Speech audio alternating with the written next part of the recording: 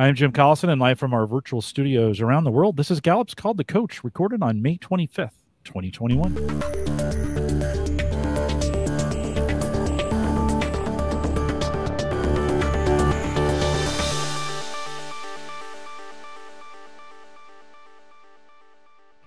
Called to Coach is a resource for those who want to help others discover and use their strengths. We have Gallup experts and independent strengths coaches share tactics, insights, and strategies to help coaches maximize the talent of individuals, teams, and organizations around the world. And today, never more important uh, on that topic. If you're listening live, love to have you join us in our chat room. There's a link right above our video there to allow you to log in. If you have questions after the fact, and many of you will listen to the recorded version of this, you can always send us an email coaching at Gallup gallup.com. Don't forget to subscribe on your favorite podcast app, and you can find us by searching Gallup Webcasts or there on YouTube to make sure you're up to date with everything we're doing. Dr. Jacqueline Robinson is our host today. She works as a learning and development consultant here with me at Gallup. And Jacqueline, always great to see you on a Called to Coach, and welcome back. Likewise, thank you. It feels like forever, but I know. I think it was only two weeks ago. Two weeks. but we're in this odd time space continuum. Yes, and, oh. and, things are going faster. we have a very important topic uh, today, so why don't you get us started? Yes. So we have two brilliant humans uh, from Gallup with us today Christy Rubenstein and Ilana Levy. Uh, Christy is the Senior Director of Enterprise Consulting at Gallup. She's responsible for their professional services network of consultants, account leaders, and researcher consultants across the US. Um, and her team of managers and consulting professionals advise Fortune 1000 organizations. Christy's top five, in case you're wondering, is strategic, learner, achiever, communication, and positivity. And then with Ilana, welcome Ilana. Uh, she is the Senior Director of Public Sector Consulting at Gallup. So she oversees the implementation of Gallup's global public sector uh, client engagement and focuses on expanding those strategic partnerships with governments, multilateral organizations, and philanthropic foundations. Ilana's top five are strategic, maximizer, individualization, ideation, and learner. So we'll talk a little bit today about some of these overlaps with their themes. Um, welcome, you two ladies. It's great to have you. Thank you. It's great to be here. Yes, thank Wonderful. you. Thank so, you. One of the things we wanted to talk about today, we know it it marks an important day in U.S. history and across the world. It was something that um, impacted a lot of people and, and started to create some conversation. Um, we know today is the anniversary of George Floyd's uh, death, and so Christy, I know you had some some beautiful words just to to help us think through this today. Yes, that's right, Jacqueline. Today marks a year since uh, George, George Floyd was killed. And it was an event that compelled our country to condemn injustice and discrimination. And many additional details of those agonizing moments surrounding George Floyd's death have recently been released.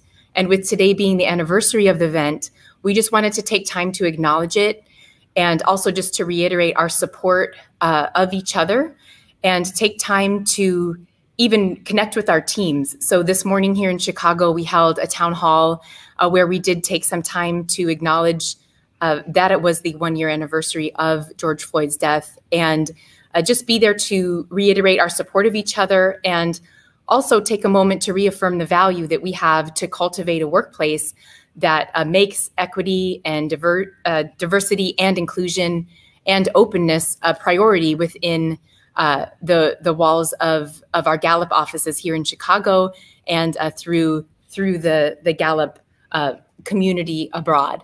So we just wanted to take a minute to acknowledge that today and uh, and think about um, how we can support each other along this journey. Mm -hmm. Yeah, especially as we talk about this uh, teams. So really connecting with with teams today, with individuals on teams, and just checking in with one another and seeing how they're doing. Um, and that really takes us to this past year. Um, the remote work environment, COVID 19, um, George Floyd's death. There's been a lot that's happening. So, ladies, how have you encouraged cross collaboration and communication where people can lean on one another um, for tough times like this, but also actively cross collaborate when it comes to task oriented work? Mm-hmm.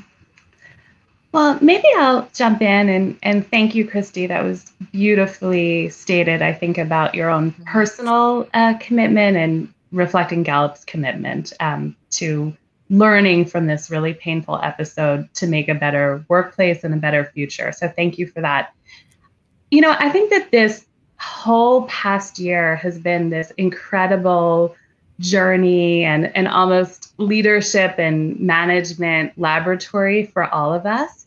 Um, you know, fundamentally, I think in everything um, that we've done, we've needed to foster, I think, a culture of intentionality around communication because being remote, we really lost, I think, a lot of the spontaneity um, that you would typically have in a workplace.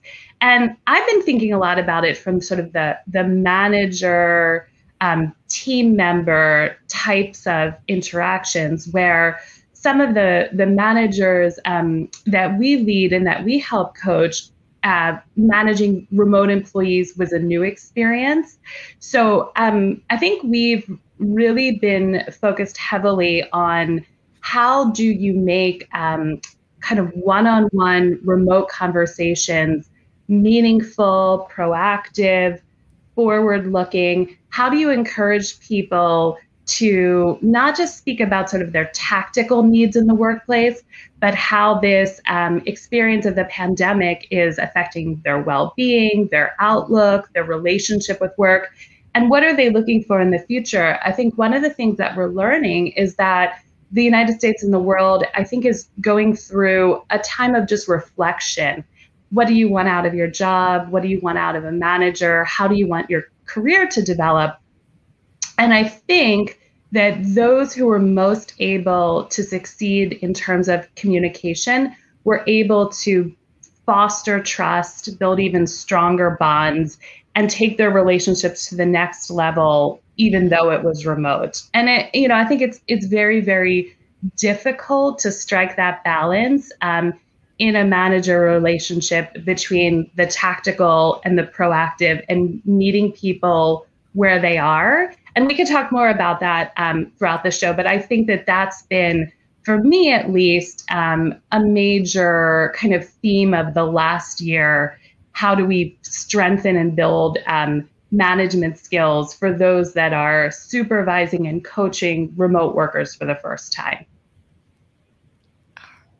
I, I just love what you said there because that's we've seen that we've seen that with some of the engagement data working with organizations um, if they don't have the skill set and they're not keeping it top of mind this past year especially we've seen a reduction in maybe the growth and development um, mm. engagement items where people don't feel like they're able to expand and be stretched in the workplace or like that career path that they were seeing for themselves is no longer um, a path. It looks almost blurry because they haven't had those conversations with management. So I just love what you've been touching on because even in the the series so far, we've talked about the the importance of values, um, mm-hmm. knowing what your values are as an individual, but also as a culture, and what's ahead. Um, what's the year ahead look like for me, or for my team, or for my organization? What growth and development might I receive? So, yeah, that makes a lot of sense, and I think that. Um, understanding and you know i think christy and i spend a lot of time in our relationship thinking about this is acknowledging that different individuals on our teams have experienced this seminal year in a really, really different way. So, how we're coaching them, um, the kind of future that we're trying to provide a vision for has elements of consistency and common values, but it also sort of needs to meet people where they are knowing that there are a lot of differences. So I think that that's been a an interesting journey as well. Absolutely. You know, Jacqueline, reflecting on your question, you know, how do you encourage cross collaboration, especially within a remote environment, whether it be around your career path as we're talking about now, or even on other topics like maybe something's frustrating or, or getting in someone's way of success. And I think that the concept of needing to collaborate means that you have uh, different ideas that you want to mesh together, but it also assumes that there's currently silos where there's different ideas being expressed in different places that you need to bring together. And I think what's unique about being a leader is that we get the opportunity to see across many different groups mm-hmm. and understand when somebody needs to hear something someone else has to say. Mm-hmm.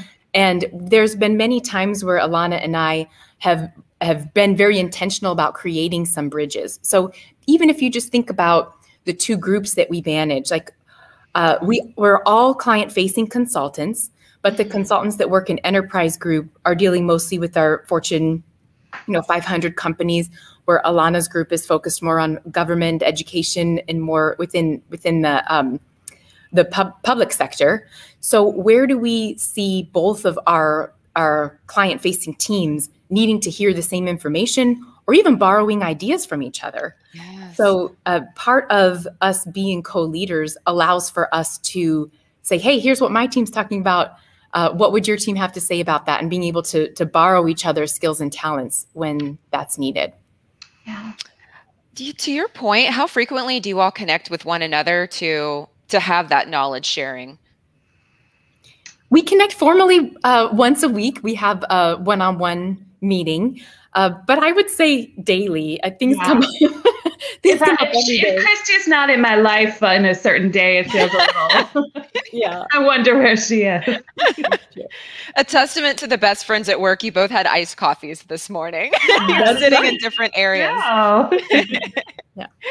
You know, um, uh, Jacqueline, yeah. I know that this is also a, a a session called Called to Coach, and many people are probably wondering, like, how can I coach people to create a more collaborative environment? Yes. And um, I was th- was just reflecting on some questions that might be helpful for coaches to ask in order to identify when those bridges need to be made. Yes, so even as a manager is thinking about talking with their team members, asking questions like, uh, you know, what do you need help with today, this week, this month? Or perhaps asking, is there anything in your work that's affecting or frustrating you? Sometimes you'll you'll hear people express things there. Uh, uh, another question that I like is looking back on the last day or week. Can you find any part of that day or week that could have been better? Hmm. And maybe that's a softer way to ask them, like what's what's getting in their way that you might be able to to make a bridge to find a connection to help improve that. And then uh, the last one's a little bit more general, but is there anyone that you want to get to know better on the team or within Gallup? And how can I help you set up time to connect with them virtually? So it might just be as easy as an introductory email, but I think as leaders, we have uh, just a large network of people that we talk to mm-hmm. about different topics and uh, that we know have different specializations that we can often be a bridge uh, to help people uh, just simply get connected and that that's really all that all that you need to do and then uh, they'll they'll take the topic and run with it yeah, I absolutely love that last question, um, especially because, as as both of you have mentioned, you can see high level and you have connections with leaders and managers across the organization. So someone might know that they would like to be connected, but they don't know who that person is. They just know maybe the industry or the skill set. And having that knowledge base to create that warm welcome would be so appreciated. Um, yeah, I think that even taps into the learning and growth piece because you're you're helping stretch their knowledge in that degree. I think that's right. And then you know, listening to Christy, it, it's kind of resonating for me on the collaboration perspective that we can't take for granted that all leaders make it a goal and an objective to collaborate really well. I think in many organizations, there are some kind of territorialism where it comes for leadership. And part of leadership is also um, often about advocating for resources and, um, you know, negotiating on budgets and hiring and who gets this and who gets that. And it's not a surprise that in some organizations that devolves, I think, a little bit into a zero sum game. So I think for teams, if they have a leader who is not seen as collaborating or doesn't collaborate um, effectively or doesn't prioritize collaboration, I do think that that trickles down and it's not viewed as an ultimate um, sort of value. You know, another example mm-hmm. is I think as a leader, setting the expectation that the way that you treat partners at work, even if they're not on your direct team, or maybe you're more senior than them, maybe you're more experienced than them, whatever it is, is a value that we do expect um, you to do everything you can to partner and collaborate effectively. And I do think that that needs to come um, from the top. I mean, I've I think mm-hmm. we've all had workplace experiences where we've seen leaders that don't um, collaborate effectively and the negative implications that it can have. And just like they say, you know, about marriages, you you do have to work at it, right? It's not that it just always organically happens. I mean, it's better if you have natural chemistry and if you genuinely like each other. Um, but I think that there are probably leadership instances, um, and and we're blessed not to have this, where leaders maybe say, you know, I don't really want to be personal friends with this person, but they still have to prioritize the effective collaboration. So these little techniques like always making sure that we have weekly one-on-ones copying um, each other on emails that even if it doesn't feel like directly relevant in the moment, you know, hey, I just want to make sure Christy sees this mm-hmm. so we can circle back later and I can explain my thinking. Or, hey, you know, I think Christy might not see this the same way. So I want to make sure that we follow up on this. I think we probably both kind of like keep a running list of, oh, you know, here are four things I need to make sure to talk to Christy about this week. Um, and all of that I think is intentional. And, you know, we're lucky that we enjoyed doing it, but I think you still have to do it, even if it's not coming from a friendship place. Mm-hmm. Thank you for those tips and tricks too, because one thing I was thinking um, with the coaches on is if they're coaching that person that isn't actively cross collaborating or doesn't see the value in it, how can they give them those little nudges so that they've got those tips and tricks to say it doesn't have to be um, widespread change that you're creating within yourself. It could be you're copying that other leader in at this point in time, but helping them helping them see the impact of that cross collaboration. Mm-hmm. And I, mm-hmm. I like your point about leadership too. It has to start with the leader. So if if the coach is coaching that manager or leader and they still don't want to be cross collaborative, can they go to that level or HR to say, I'm really trying here, but can we run a 360 mm-hmm. to give mm-hmm. me that extra tool for support so they can see the impact that this is making? Um, mm-hmm. So I really appreciate the tips. I think that's a that's really come into play over the last year while we've all been virtual. I think that there's a lot more accidental interactions when you're working with people in person where you might have an opportunity to collaborate because, you know, you're getting coffee and you ask someone about what they're working on that day mm-hmm. and you have a natural uh, intersection where you might be able to collaborate or share a resource or uh, an idea that might help that person. But when you're all connected virtually, you really have to be intentional about it. Uh, even you know setting up uh, whenever we have team meetings we always reserve the last 15 minutes for a breakout session. And we'll usually just through through zoom put people into small groups three or four. Let zoom you know uh, disparate uh, create their own groups so that way uh, there's totally random who gets hooked up with who and give them a topic to discuss to have to kind of force some of those accidental interactions um, Great but, idea. you know one other thing i wanted to mention just about uh, creating cross collaboration and mm-hmm. and uh, being able to really collaborate um, i think that there's sometimes uh, a misconception that just because I got a group of people together to talk about an idea that I collaborated.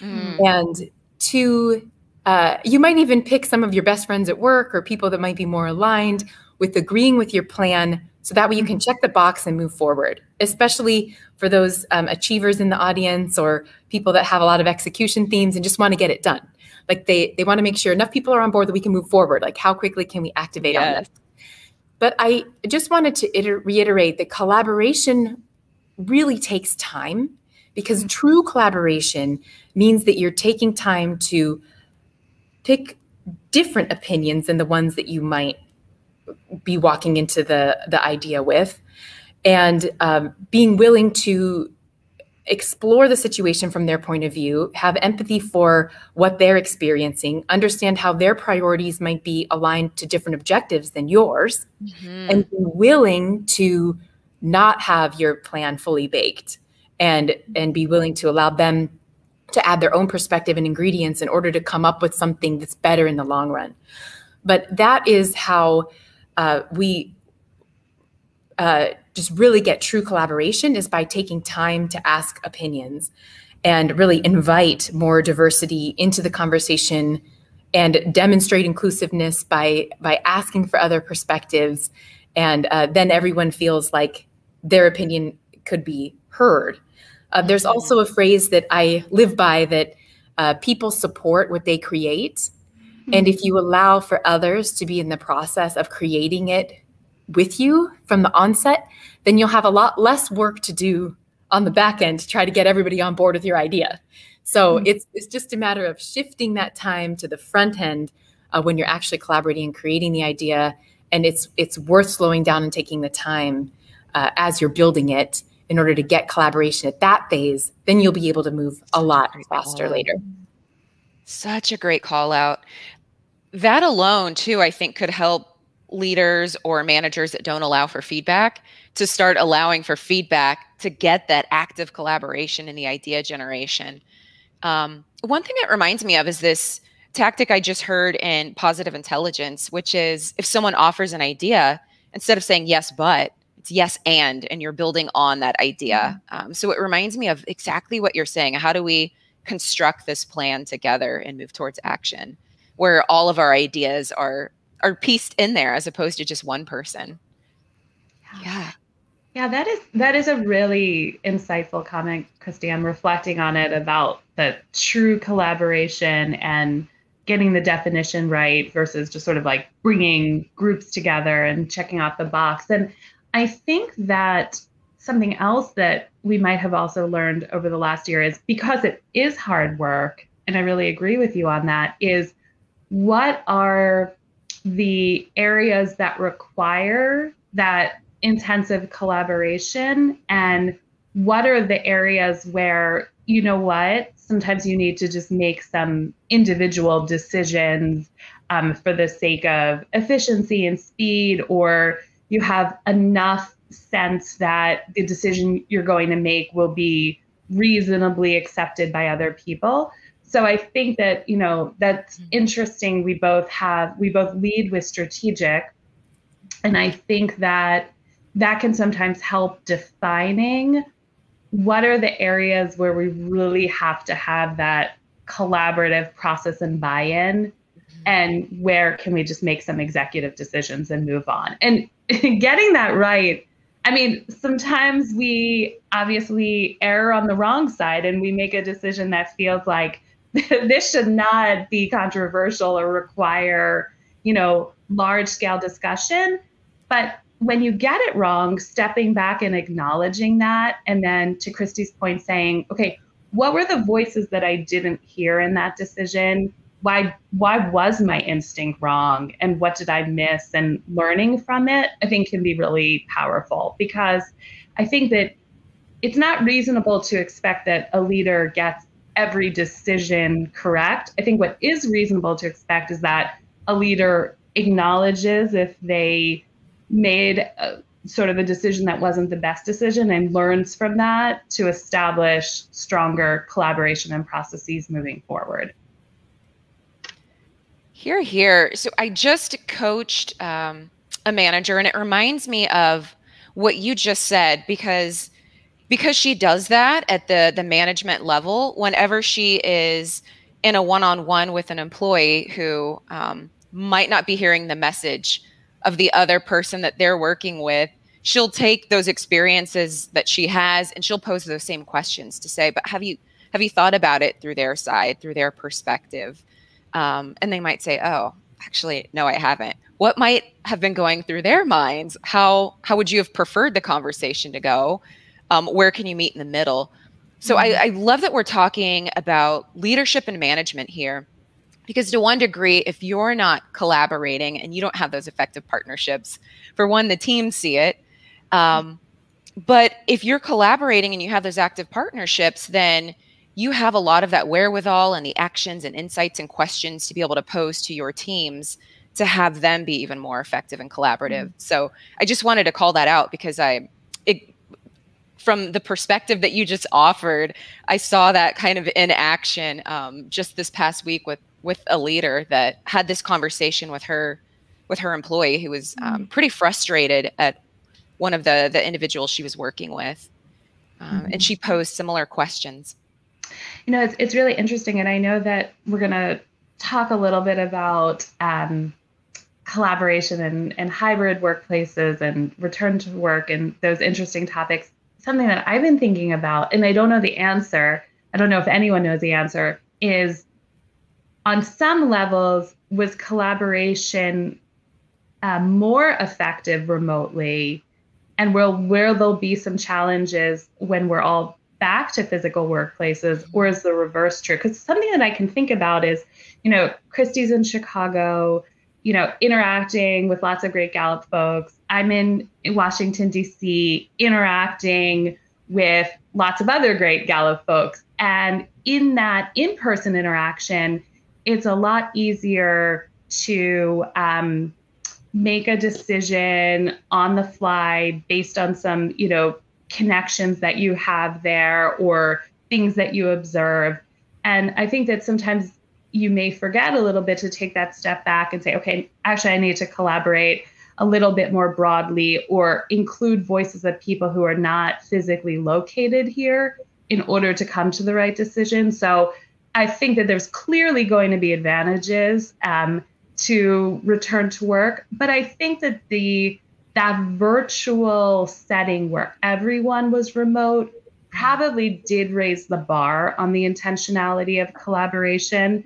And we'll just have to think about how we can continue some of those techniques that really worked um, once we're back into those impromptu personal interactions in person.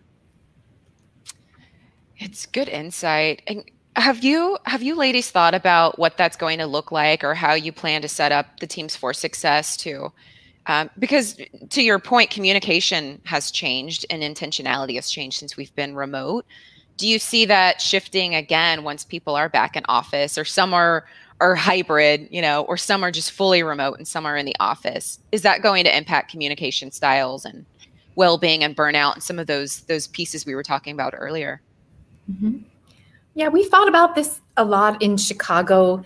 Uh, we have, you know, a beautiful office here. You can see the the Chicago River coming in from Lake Michigan, and then here it branches north and south. So we we have the opportunity to be in a beautiful space together. There's a lot of uh, just physical spaces in our office where we can collaborate and work together.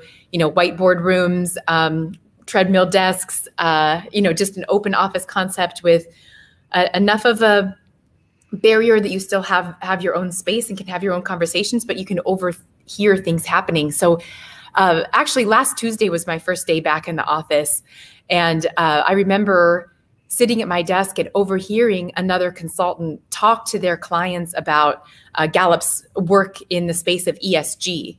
And it's something that Ilana and I have uh, worked with our, our Gallup practice leaders to talk about, you know, what's Gallup's uh, offerings and approach around ESG that we can talk to our clients about. And then we launch an offering like this, and then uh, we don't we don't really hear anything uh, mm-hmm. because our consultants are out talking with their clients about it, and then a few months later we'll see a result, like we'll see a new project come through or an impact that was made at a client. So we kind of see the beginning of it and the end of it, and we miss out on the middle. But mm-hmm. being in the office, I had an opportunity to hear that consultant talking with their clients about it. And I, it just, it was like such a surprise to see it in action and uh, to know that he was utilizing all of the, the resources at his disposal to be there for his client around this important question that they had. So I want to make sure that we uh, have an opportunity to promote people being in the office um, you know, in order to have uh, that kind of interaction, though, you have to show up. And I think that there's a lot of benefits that have been gained from this uh, hybrid environment. So what we're suggesting is that you know three to five days a week you're in the office, depending on what your schedule looks like, and then one day a week we will have some sort of event that will uh, help people collaborate and have even some social interaction. So that could be a professional event where someone gives a briefing on something they're doing with a client to uh, a personal event to go out and celebrate someone's work anniversary. Uh, maybe it's celebrating um, a holiday so that way people can okay. feel like themselves at work. So uh, just give them an opportunity to be intentional about connecting. Those are wonderful ideas. Ilana, I think you were going to say something, and I no, I love that. Well, first of all, I'm I'm jealous. Our um, our I think equally beautiful but differently beautiful Washington D.C. office is under renovation.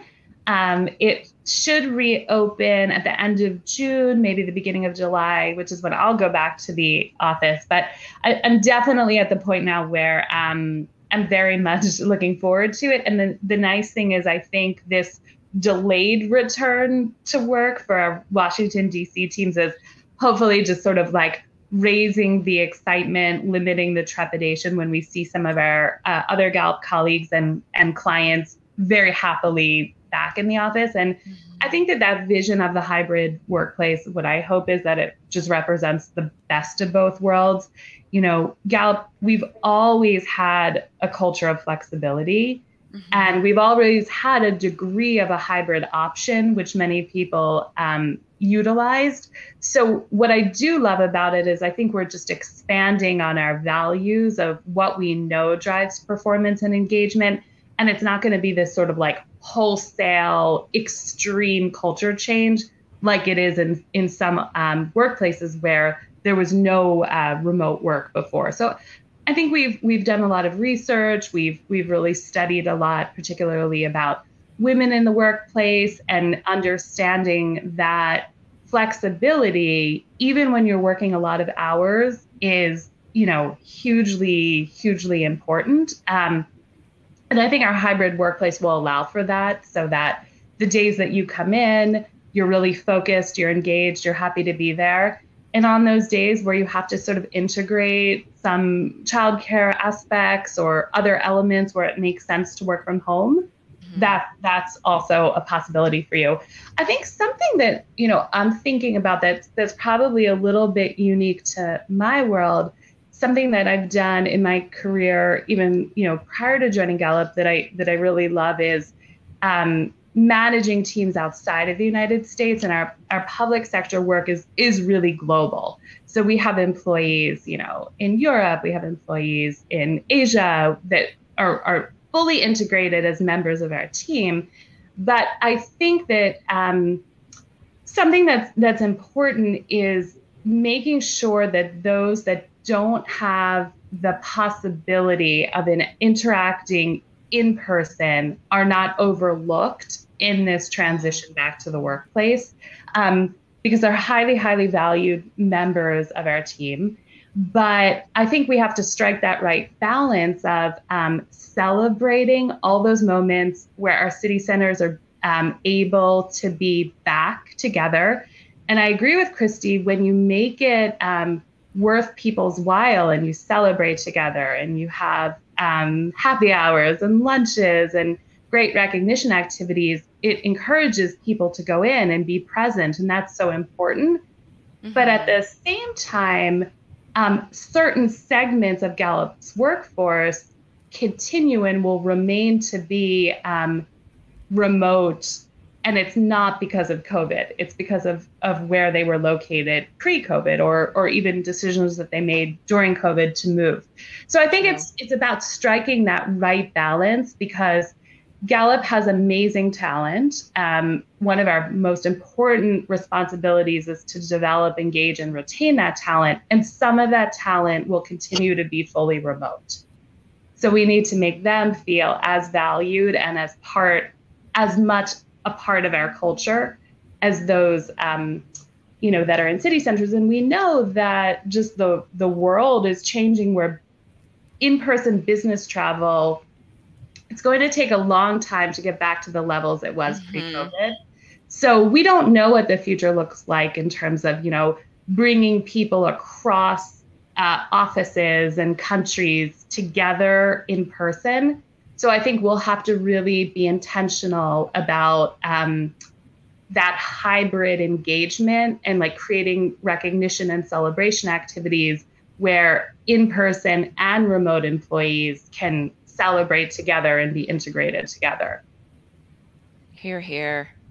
We're really hearing the work life integration take place where your personal life is just as important and valuable as your professional life. And this experience that we found ourselves in has really um, maybe pulled back the the curtains for some managers mm-hmm. who might not have been attuned to that before to say, okay, let's think about your scheduling. What is going to work for you? Where you feel like you have a better work life integration. Um, I won't take work life balance. I know it's it's always like this these days, but where they're they're more attuned to that. And I really heard that with what you're saying too, and that individualized piece. I think you can also be intentional about what meetings you're planning on what days. So if I know I'm going to be in the office every Tuesday and Wednesday, then that's when I'm planning my one-on-ones with the people that are here in the Chicago office. If I know I'm going to be remote Thursday, Friday, then that's when I'm planning my meetings with my people that I'm connecting with virtually.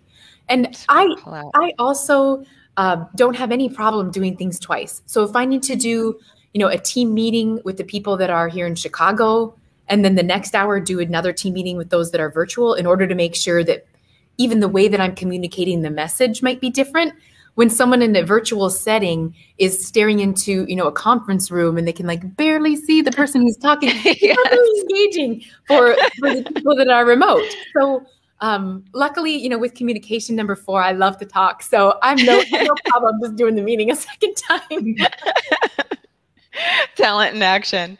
No, it's a that's a really good point because in the old days that's what we did. The old days a year ago, it's you know if people were remote, you just you're going to be on that conference line. You'll just be on the phone, or you're going to be zoomed and you'll just see the little bitty faces. But we can do it differently now. Well, well hopefully we've learned a little bit about. I, I always felt the remote experience was subpar uh, up until a mm-hmm. year ago. You always mm-hmm. you were kind of a second class citizen. Yes. You you were on the fringe of the conversation. You were there, but you weren't really engaged.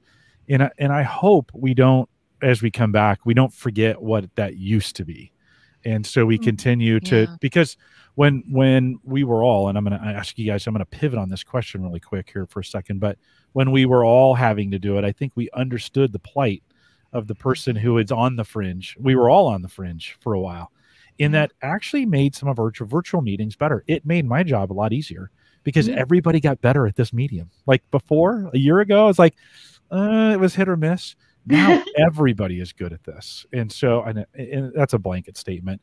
Um, Christy, I want to ask you this question. You know, sometimes though, we as we talk about coming back, it's a little that, that that comes from a statement of almost a little bit of privilege. In other words, we've had the ability to go home it, we've had the ability to work from home. Not everyone's done that. I think there's a group in the population that's like, hey, wait a minute, I, I've still been at work the whole time. Like I had, I was an essential worker, or I was in a, I was in a role where I couldn't. This thing, manufacturing, right, can't be done that way.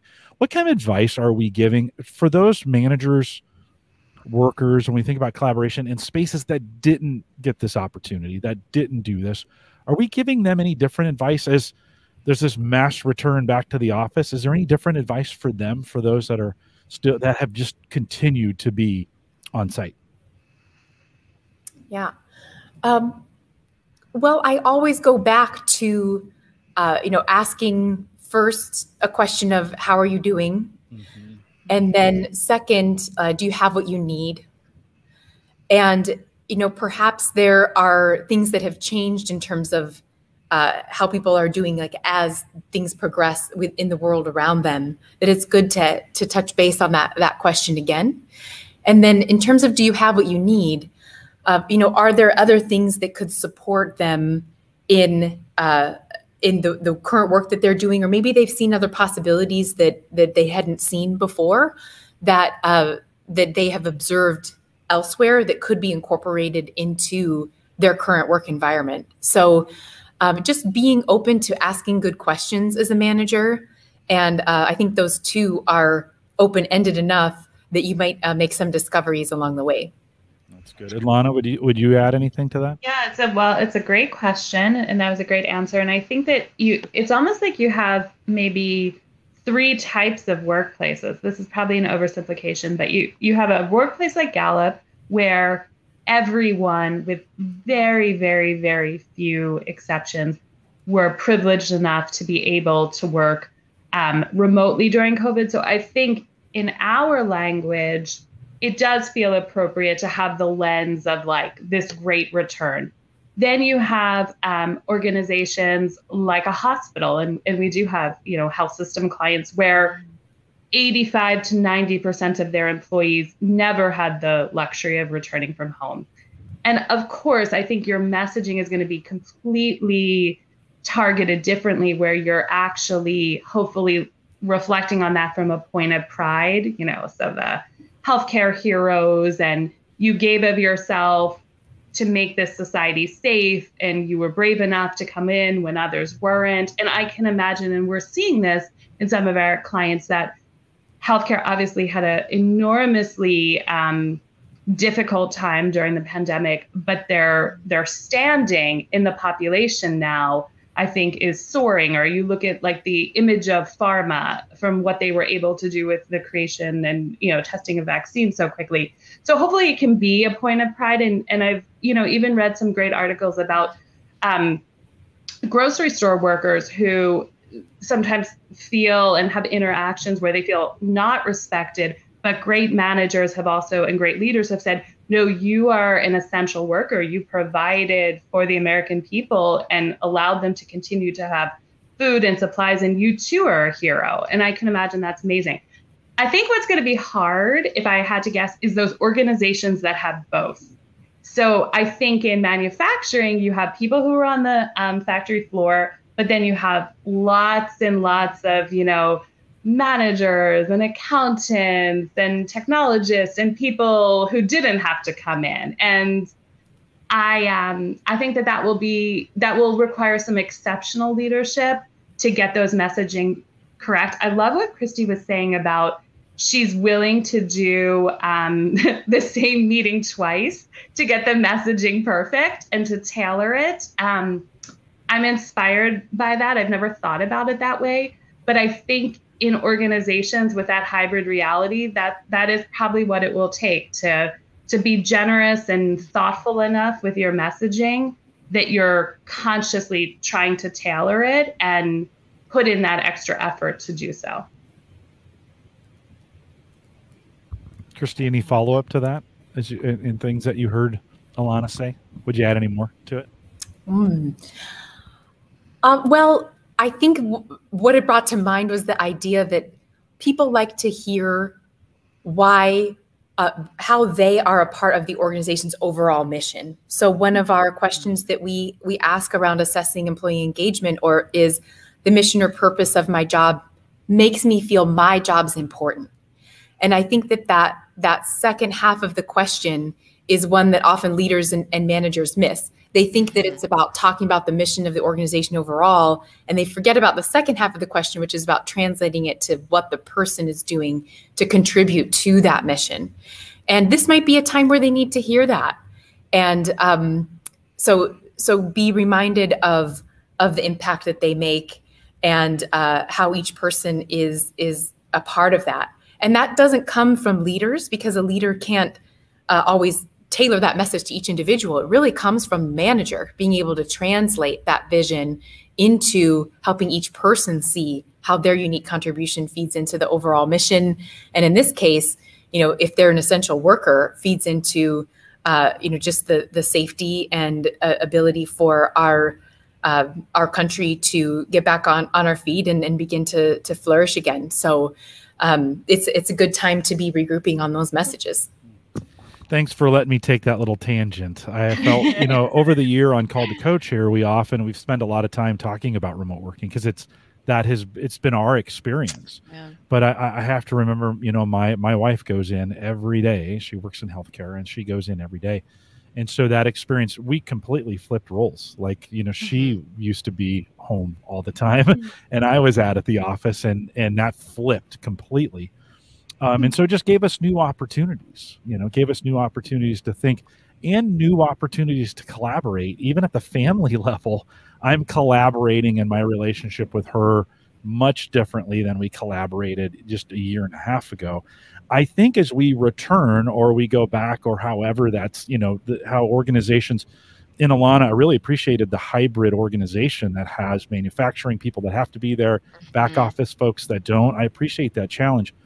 I think from a collaboration standpoint, we're going to have to rewrite the rules in some hmm. regards of how this works. And so that makes this conversation very important. Yeah. Jacqueline, I'll, I'll, throw it back to you for more questions. Yeah, I'd love to hear um, what we might have from our folks in the coaching community. In the chat room, we'll give them. In uh, the we'll, chat room. Yeah, we'll give them a second to uh, to respond um, back to that. Um, as we're waiting for some of those questions in the pre-show, we had a little bit of a strengths conversation between the two of you, and uh, I was just on a webcast the other day where we all had Maximizer. It was funny, all four of hmm. us.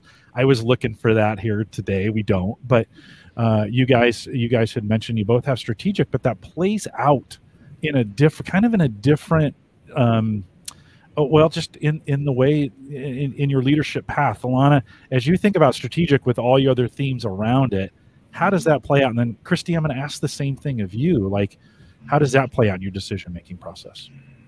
Well, that's a great question. And I think that for me, um, the strategic theme, I think, helps me narrow in pretty quickly on what I think are the most important challenges to tackle or prioritization of um, focus for us. And also, I think helps you see the end in sight so you're not getting stuck in the tactics. So let's talk about like learning and development for roles.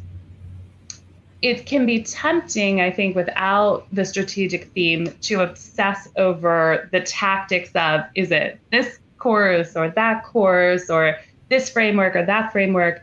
But obviously, the big picture is helping create a culture where our talent feels that they're evolving in their role and acquiring the experiences and the skills um, to serve our clients better and to progress. And if if you forget that end in sight, then I think you can get really kind of mired down in the tactics. The tactics are important, but what it's all leading to, in my mind, is even more important. So that that's sort of how I leverage it. I think that um, there's a very interesting dynamic about individualization and strategic in my mind because one of you know leadership styles there's there's some who focus heavily on consistency mm-hmm. and there are some who focus on kind of individualized paths so with the strategic if you know what the outcome is to me it's easier to individualize because you know maybe this person doesn't want to have this traditional developmental framework, but they want to end up in the same place, but they're going to do it a little bit differently. I think that that helps. If you individualize though without that strategic big picture, you're just it's it's just chaos sometimes. So. Hmm. No, it's good. Christy, talk a little bit about then how you see your strategic working mm-hmm. for success. Yeah. So I actually see my strategic as working as a very structured way of thinking. So when I hear about um, a problem, I'll often generate a solution that is a structure that most people will be able to um, work within. And then uh, I think what Ilana is saying is without that structure in place, then you can't really iterate off of the core. So, for example, around um, account leader development. So our account leaders are our consultants at Gallup that are responsible for the key like point of contact for our client relationships. So we want to continuously uh, develop them. So we created a framework where we expect for them to build their expertise, deliver excellence, and generate growth for our clients. And then all of the learning opportunities that we have for them are fitting into the framework within those three levels.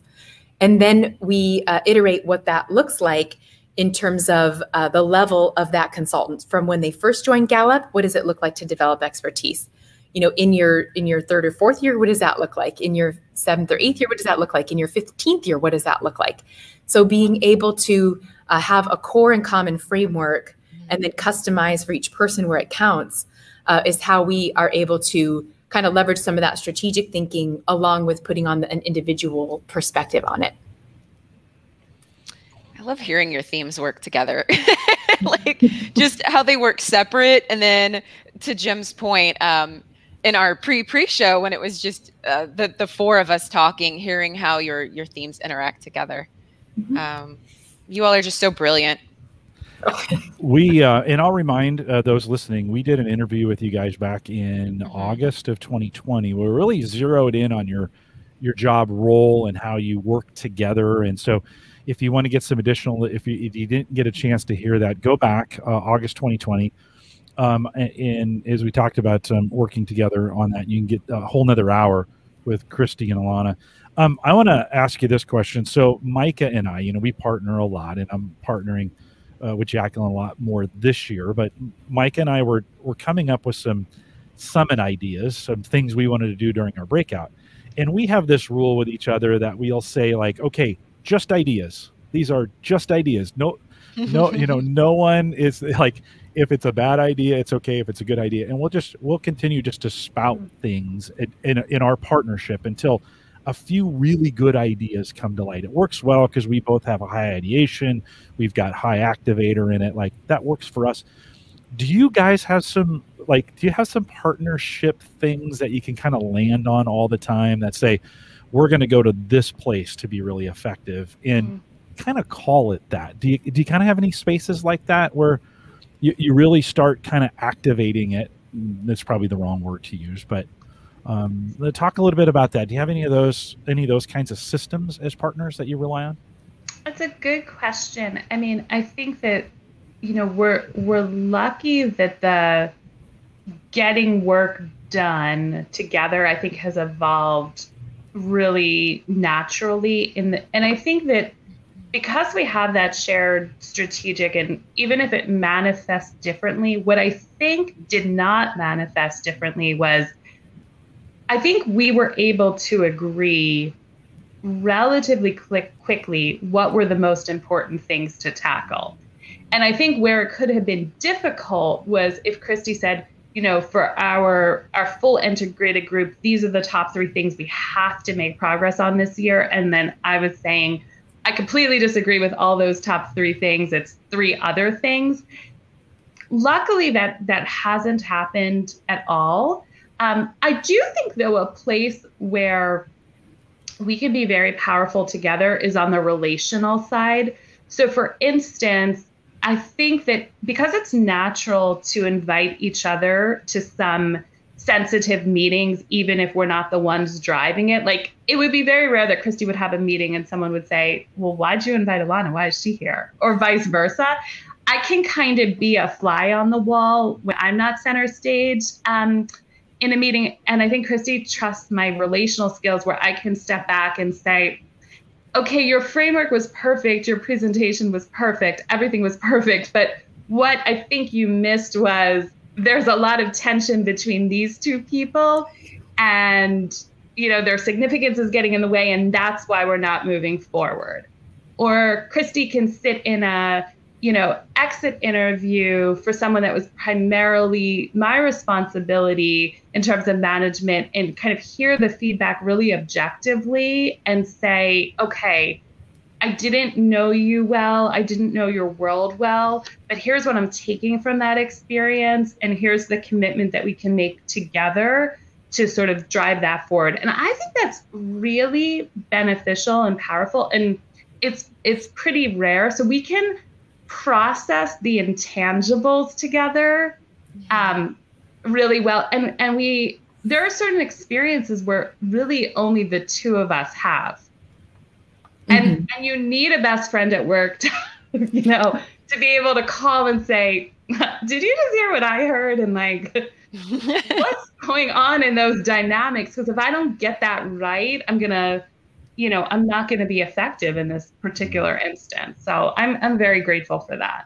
Mm, oh absolutely. I think having you know a co-leader has been just uh it just gives you so much uh, permission to like be candid in conversations and even admit this is hard. I'm not sure what to do. Mm-hmm. can you help me think through it? Or here's the approach that i want to take with that.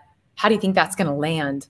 And there's no uh, judgment is there's no like there's no way that you can fail when you're talking to your friend about it who's equally as responsible as you so exactly. it's nice to have you know a teammate who's uh, who's who's working towards the same goal that you can can have those hard conversations with. Uh, but I think a lot of our uh, discussions also come up when we see a shared issue. Like so many organizations complain about the lack of knowledge management. Mm. And at Gallup, you know, as a research firm with all of the books that we've studied and all the topics that we've covered here on Called to Coach, uh, we have a lot of information. So we our problem with knowledge management is certainly not uh, knowledge. It's it's the actual management of that knowledge. So what Ilana and I said was, you know, we don't need any more books in the library. We just need more librarians. We need people who really know uh, everything that's available and can help other people navigate through that. So, um, you know, Ilana knew someone kind of personally in the DC office who uh, was really good at kind of organizing and, and uh, putting information in in a way that can be easily resource or easily accessible by others. So uh, maybe you have people that actually go to the container store and buy those containers and actually use them to organize their homes, like people with this natural talent for organizing information. Uh, so we identified a few of those on our teams, and then we put them into roles where they can uh, utilize that talent to help organize information around knowledge management in a way that's easy for others to uh, access and then be the librarian there to help get that information so you know we came up with a problem we we knew what type of solution that we needed to make and then between our our two networks we're able to figure out who to who to place within that structure to make it come together I just I just heard your strategic in there. That's pretty great. yeah. Walking through that framework, very very um, very clear. I'm going to reserve the right to bring you guys back next year about this time and do a follow up to like, okay, how did it really go? This has been the fun part for my job is that things have been changing so fast uh, year over year. If you interview every year, every six months, there's enough new things so that you, true. you know, we're, we're kind of learning all the time. Um, Jacqueline, let's take a second to thank our guests for coming today. Would you? Thank you, me? ladies. Um, you know the the chat has appreciated this. I've been looking at the comments and the questions coming in, and your feedback has just been so so helpful. Um, I learned something new. I think everybody in chat learned something new as we think about cross collaboration and partnerships um, with teams, but also between managers and between leaders. Uh, so thank you for taking the time out of your busy schedules to be with us today. Um, for those listening in, we will have our final episode on improving teams coming up in June with Rachel Breck and Sarah Vander Helm, and they will be talking about celebrating successes. Uh, so we're going to end on that positive, happy note after we're coming out of this this year we've all been through. Uh, right and thank, you, thanks again, ladies. Hang tight for me one second. We'll remind everyone to take full advantage of all those resources. And Christy just said we, we don't have a lack of resources that's out there uh, now in, in, Gallup Access. So to gallup.com slash Clifton Strengths, uh, and actually upper left hand corner, uh, drop the menu down and choose resources. And you can search. We have a ton of stuff available for you there. So get in there and get that done. If you're interested in coaching, master coaching, or you want to become a Gallup certified strengths coach, which would be great for 2021, uh, we could use a few more of those as well. You can contact us, send us an email, coaching at gallup.com. Don't forget, if you want to stay up to date on all the webcasts that we're doing, including when we have Ilana and Christy back next year, follow us on Eventbrite, gallup.eventbrite.com. There's still time to join us for the 2021 Gallup at Work Summit, and it's going to be pretty great. So you're going to want to be there, at gallupatwork.com uh, and you can still get registered. You got, I think, two weeks from today is when it kicks off. Mm-hmm. So you want to make sure you get that done. And then, of course, join us on any social platform, and who wouldn't? Uh, just search Clifton Strengths on those platforms, and you can find us there. We want to thank you for listening today. We'll send you back to your next virtual meeting, whatever that might be. With that, we'll say goodbye.